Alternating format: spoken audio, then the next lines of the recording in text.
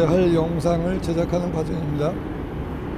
일단 효과 적용 음성 변환기 여기서 이제 녹음을 저 소리 파일을 가져옵니다. 그 다음에 여기 이미지를 가져와야 하는데 이미지를 만드는 과정입니다.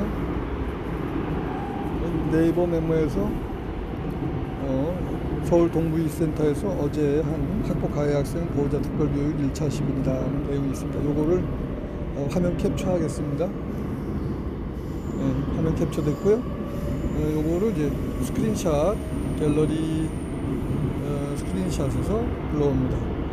그래서 안쪽에 아래 요, 요게 편집 단추인데요. 이건 뭐 갤럭시 S8 경우입니다. 불필요한 부분은 잘라버립니다.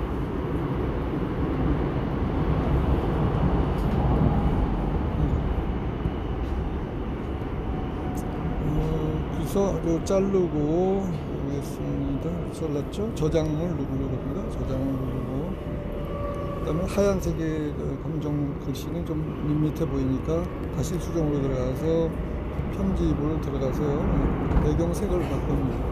색이 여러 가지로 바뀔 수 있어요. 더 밝아지는 모드도 있고, 이건 좀 단조롭지만 이렇게 분홍색으로 바꿀 수도 있고, 또한 가지 뭐 이렇게 미색, 상아색이라고 하나요? 이렇게 바꿀 수가 있습니다.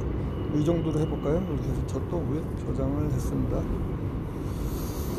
그 다음에 이제 또 너무 글씨만 있으니까 밋밋해서 이제 요걸 누르면 이미지를 스티커로 붙일 수가 있습니다.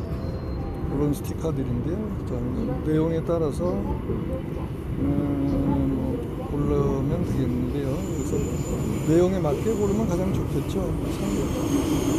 상- 사안별 상담인데 네, 지금 전철로 인천에 가는 전철 안이라서 그 정도 골라볼까요? 이렇게 좀 분위기가? 저장됐습니다. 그러면 이제 다시 효과 적용 음성 변환기 가서 이미지를 만듭니다. 이미지를 불러옵니다.